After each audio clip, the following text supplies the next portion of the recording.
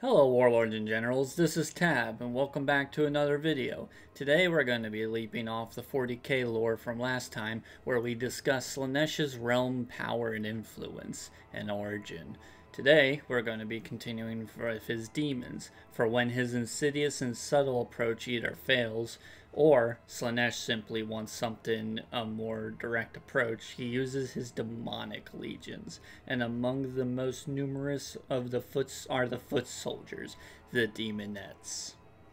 Known also as Maidens of Ecstasy, Bringers of Joyous Degradation, harbingers of endless delight, and seekers of decadence. These demons of Slaanesh are his courtiers and courtesans, fulfilling all of his whims when they are not out killing in his name.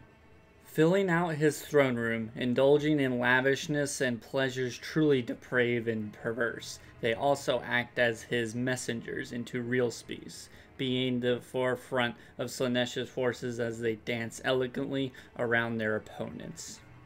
When they fight, they move with an unnerving speed and grace that makes some Eldar movements seem sluggish, able to slice an opponent several times before they even register it, aiming for weak points in armor and exposed flesh. The features and strange scent of these creatures also assists in combat.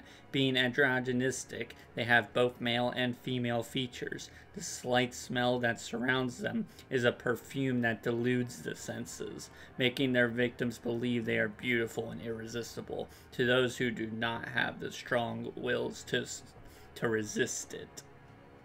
Their victims often surrendering themselves to these beautiful creatures only to realize that these creatures is a horrific as it laughs in ecstasy as it cuts their prey to ribbons. Even the lords and champions of Slaanesh are not immune to the allure of these demons. A champion may summon one or several uh, to enhance his power or favor, only to find themselves a pawn of these vile creatures extremely attuned to the nature of Slaanesh, not only in getting extreme ecstasy when inflicting pain and pleasure upon others, they also have the ability to, eventually, being able to discern a mortal's deepest desires. Once they find it, it all it takes is a whisper, some honeyed promises and lies to turn a once proud mortal into a pet for them to toy with. And those are the base demonettes. Next we'll be moving on to the units known as Seekers. Particularly cunning and ambitious demonettes and even mortals may seek out to tame a steed of Slaanesh, the strange and elegant mounts of Slaanesh.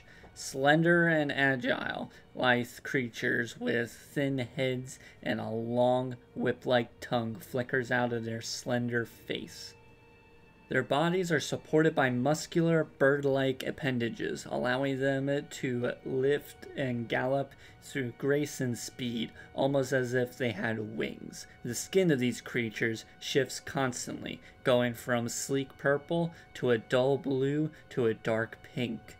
Taming such a creature is quite a challenge, as they are inconceivably fast and have enough stamina to run forever if the need arises. Roaming the golden fields, infinite fields, these creatures represent the aspect of freedom of Slaanesh, making them fiercely independent demons mentally. If one would tame one, they would need cunning and guile, using the innate curiosity of the steeds. The steeds have a heightened sense, and anything they haven't experienced will attract their curiosity. When the steed approaches the new scent they have not experienced before, this is when the demonette or mortal will mount the steed. They then have to lull the creature into calming down while being bucked and avoiding the whip-like tongue and powerful bird talons. Should the demonette succeed, they become a seeker of Slaanesh.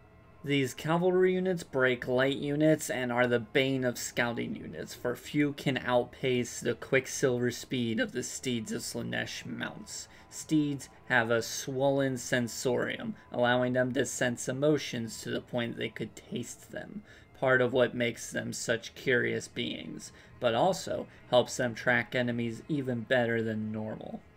This, on top of the venom of the tip of their tongues, make them great hunters as they lash the back of their running victims' necks. As they taste the emotion and soul of their victims, makes them shudder in delight. And few ever escape the sleekers when they are on the hunt. And that is the fast-moving cavalry unit of the Slaanesh legions. We're now going to move on to their monsters, the Fiends of Slaanesh. Also known as the Rams of Slaanesh, Chimeral Leapers, and Fiends of Exalted Excess. These chimerical horrors, born of Slaanesh's dreams, made manifest while he sleeps. While most demons are unique, differing between obvious and subtle ways, fiends, however, almost stay completely consistent, torso and legs made of a human, ending in talons or hooves. One set is inverted, a long, sinuous tail ending in a stinger with a heavy, potent venom, head the mix of a bull and an aardvark or anteater, and the arms ending in two demonic claws. These creatures are true nightmares to behold. Now, you would think with a consistent form described, most would run from in them instantly. However, fiends produce a musk whose chemical and smell lull most into a dreamlike state, falling into a deep sleep as the fiends approach the fiends will approach their helpless victims and take their time snipping limbs off and rend them to pieces. It takes an immense will to resist a cloud of musk's influence, even if they do and survive the approaching fiend's assault or manage to escape, they are left with an empty feeling. A sweet scent just out of reach type feeling haunts their every waking moment. When called to war, fiends often charge alongside chariots and seekers into battle, moving at an unnatural pace, a scuttling gait almost. Swiping arms back and forth, they are not graceful creatures when they get into combat. When they charge, fiends let out a song that eat to each other, this somehow discordant yet melodic tune drifts its way into the warp, for it is both psychic and sonar. This is true. This tune will find its way to Slaanesh, who lays back as he enjoys the music. This song cannot be heard by most, except by psykers not blessed by Slaanesh, whose eyes bleed and eardrums rupture for the unprepared and the weaker psykers on the field of battle. Now with the general foot soldiers, monsters, and cavalry out of the way, we're going to cover the war machines of Slaanesh, starting with a Hellflayer. These strange war machines are pulled by seekers and function like a lawnmower, wood chopper, and a chariot combined. They were not always used for war, however. Due to the constant warfare of the realm of chaos and the great game, Corpses and remnants of the other god's minions strewn across Slaanesh's fields. The task of cleaning this up is left to Hellflayers piloted by demonettes who have displeased Slaanesh, but not in an extreme manner to give an extreme punishment. For demonettes are selfish creatures, and the tasks of mincing the corpses to bite-sized pieces for the strange flora of Slaanesh's realm is dreadrous and boring. Therefore, agony to them.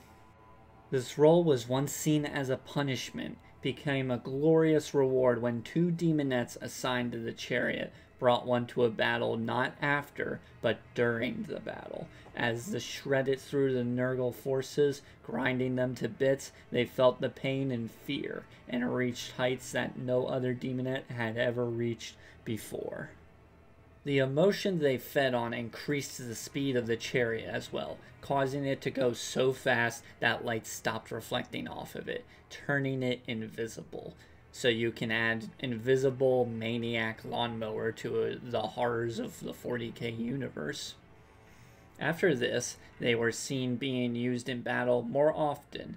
Of the two demonettes who created this scenario, Slaanesh punished them, for they disobeyed him. These two demonettes were turned into marble statues, placed at the start of the walkway to the palace of Slaanesh, turned away, forever away, and never again to bask in the glories of their god Slaanesh. And then there is the Exalted Chariot, larger and equipped with more blades and pulled by heavily armored steeds of Slaanesh than a standard Hellflayer, where a Hellflayer will mince corpses and enemies, an Exalted Chariot will turn them into a red mist instantly. These contraptions that only a madman could create also have inscrolled runes on the blades, causing souls to be grabbed by the blades and causing them to be dragged even further into the blender on wheels. No, that was a short entry, but I mean, that's literally all it was. It's just a bigger hell flare pulled by more Seekers. Literally it. And that covers all the non-leaders of the Legions of Slaanesh. As we do with these videos, we try to start from the bottom and move our way up slowly to the top. And with that, we're going to start with the bottom of the top with the Heralds of Slaanesh. Out of all the Chaos Gods, it is Slaanesh who is the most like mortal rulers in his giving of favor and ruling, being attended by those he favors, the Heralds. Outside of the Keeper of Secrets, a demonette may become a herald, an empowered and favored servant of Slaanesh, who are his servants and attendants within his court. Singing and dancing for his entertainment, massaging his perfect body with oils, and even serving him wine and other luxuries. The greater the favor, the closer to Slaanesh they are allowed, some even allowed on his great dais. The role of the courtier is not the only role these heralds serve, but as lieutenants within the armies, acting as field commanders to the keeper of secrets, the only servants to outshine the heralds within the legion's hierarchies.